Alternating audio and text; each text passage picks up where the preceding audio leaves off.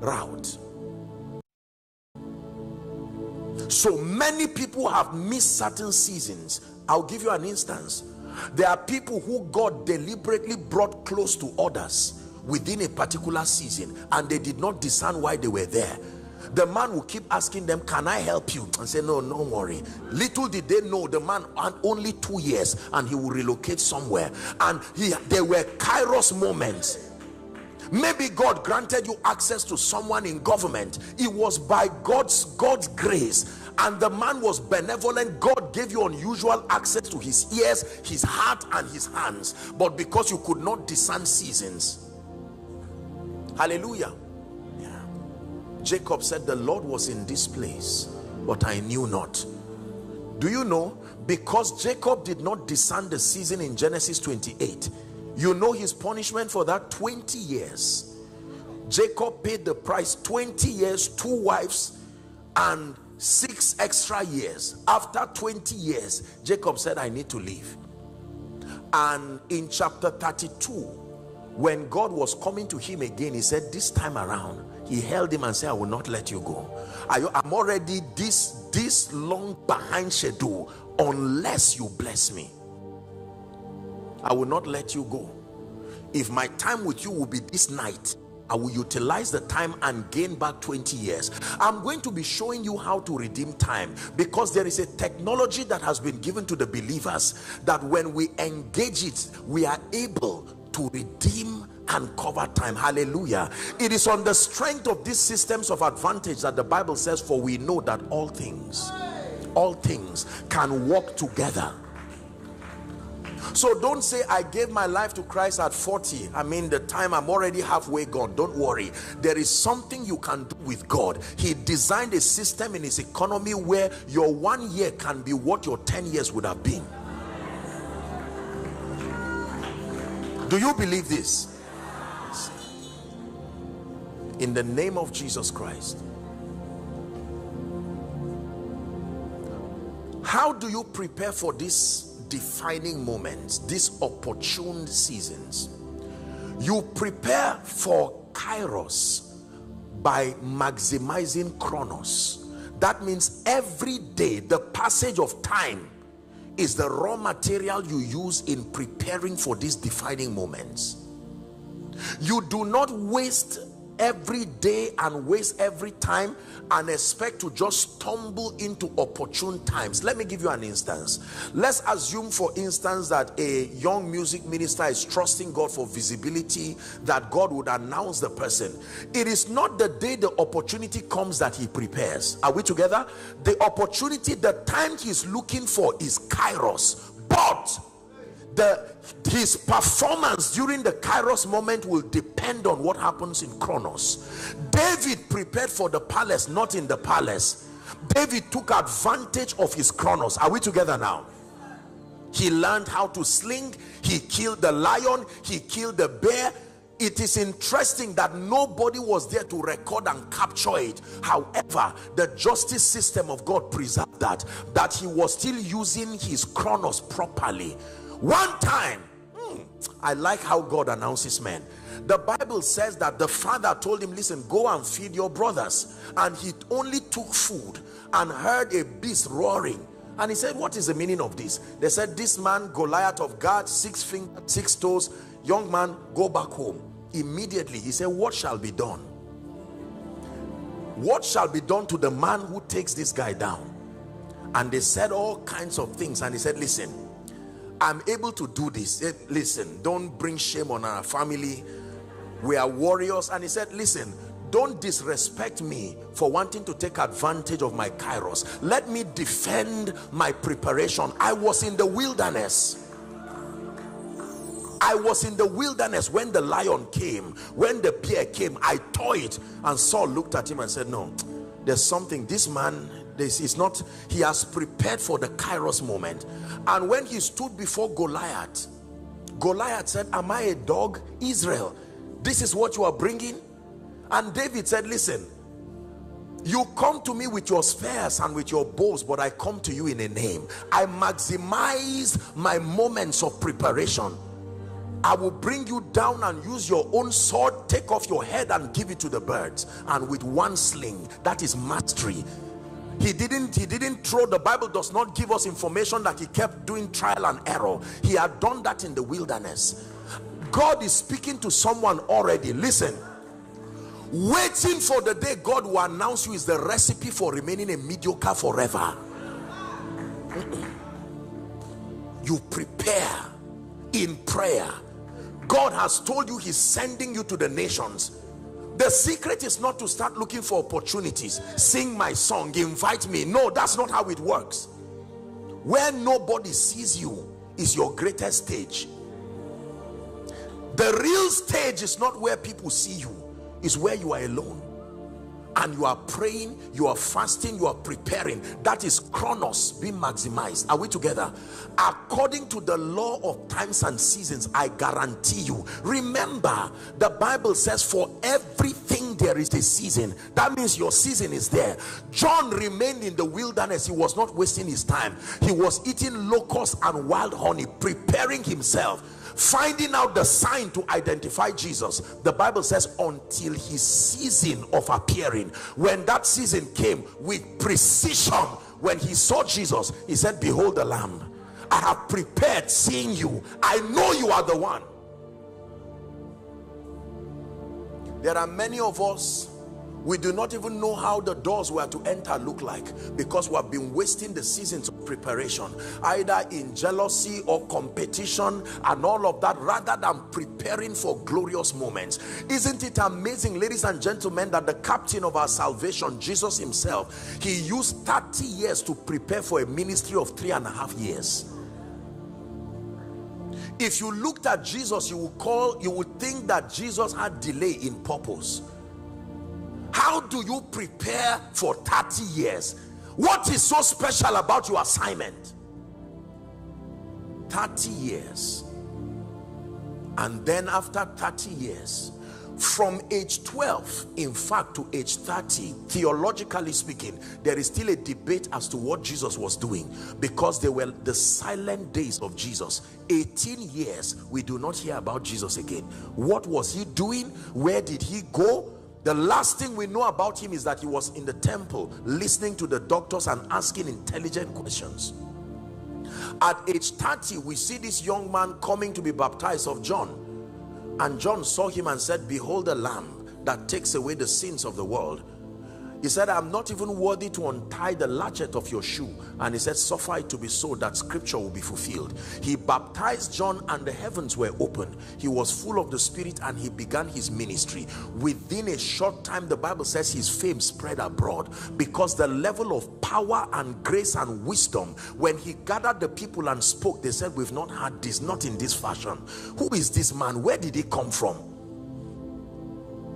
they gave him according to the synoptic account of Luke in Luke chapter 4 they gave him the scroll of Isaiah and he began to read the spirit of the Lord is upon me. He hath anointed me. He read all of these things. They were not impartations. He used his chronos. For someone already the spirit of God is speaking. See if you do not perform well and you abort these defining moments it is because you wasted every day. That means every day is counting for that day. Every day counting towards that day.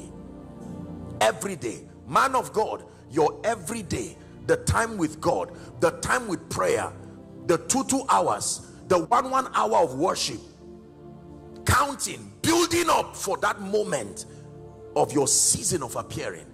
Ask anybody today that God has helped and God has lifted. They will tell you. They can trace to moments. Moments. Moments of pain. Moments of labor without reward. Are we together now? Moments they knew. For most people listen listen for most people they saw long ago where God was taking them to. Do you know sincerely some of these days that God has brought us today we saw them long ago but we knew we're not just going to jump into these days. So just wishing and saying I have a dream. When you have a dream you wake up and then you begin to walk with the Holy Spirit line upon line precept upon precept for some of us your service in this house is your maximizing chronos. Because a day will come god will send you like an arrow to some nation in the world and you may be pioneering a mighty revival. But let me tell you if you are a revivalist your first commission will not be revival. You already know you are in error when the, your first assignment becomes what you will be doing for the rest of your life. That's not how god works with people. If you are paul he will start with you in a certain way are we together now? That means if you think God has called you to be an apostle and you get up and your very first assignment in life is apostolic ministry, you are in error. That's not how God leads people. God can call you to be a worshiper and your first assignment is to sweep the church. How does sweeping the church have to, what does it have to do with worship? Ask Stephen, what attending tending to the welfare department had to do with him rising to be a very mighty man.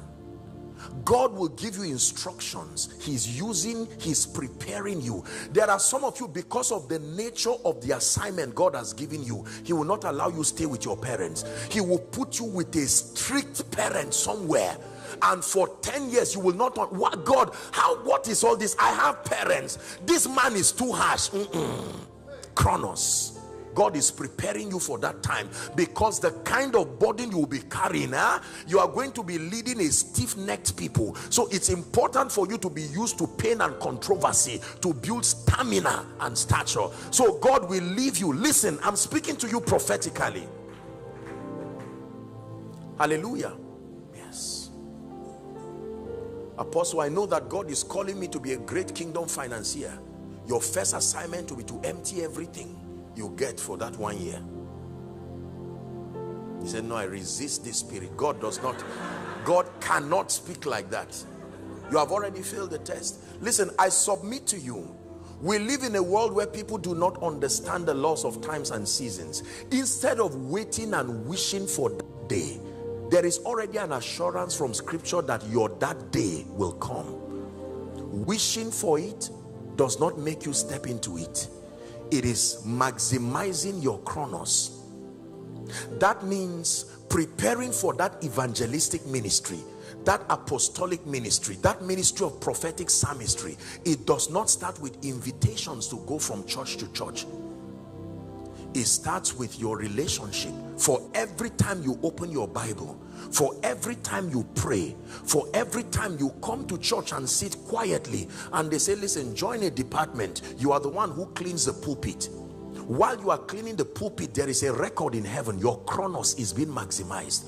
One day they would look at you and say listen you are part of the welfare um, department. Okay just lead us in a 10 minutes prayer. Uh -huh. 10 minutes prayer.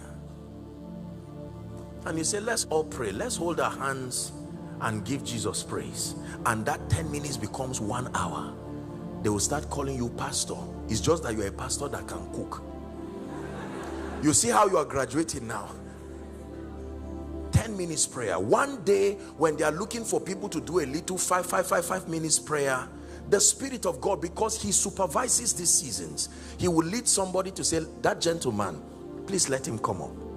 And now you have an opportunity and you see when God wants to accelerate your life he will wait until the day your destiny helpers are before you. And then that one opportunity. Hallelujah.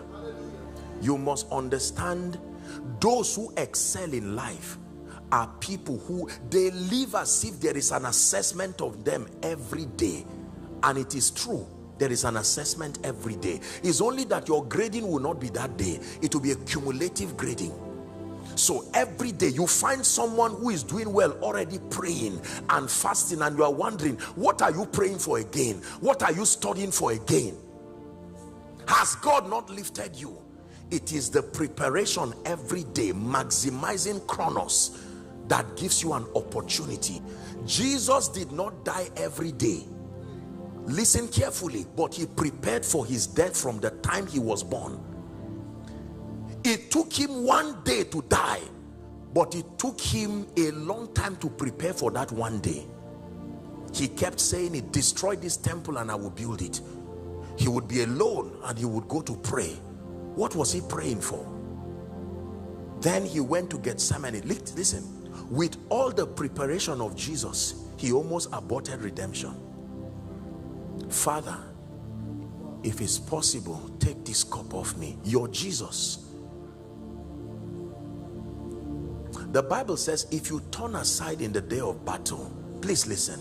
It said your strength is small. God is speaking to me to encourage someone right now your appetite for visibility is what may destroy the seasons coming. You need to reduce this this insistence to be known and prepare. You announce yourself by being faithful in your everyday.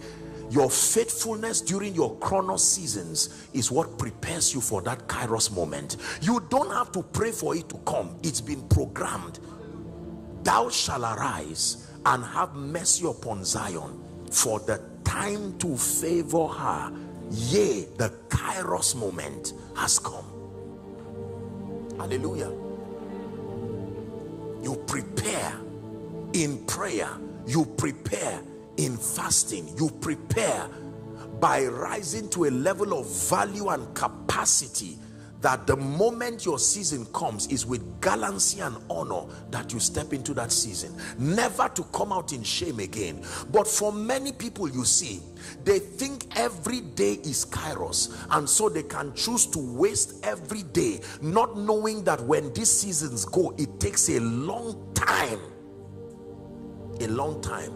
Anybody who did not farm this year is almost over. In fact it's over.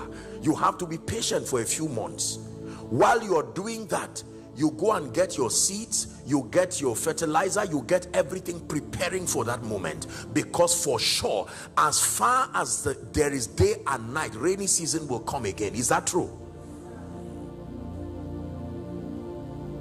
Your pastor he shared his story many times when he was with pastor esco and all the, the the events that happened preparing for those moments you see. There is nobody who comes out of nowhere. Let me tell you the truth. All that talk is nonsense. There is nobody. Just because you were not in the wilderness does not mean the person was not there. While you are killing the lion and the bear nobody sees you. There's no audience to clap for you. But the all-seeing eye of God who controls times. You've got times and seasons in your hands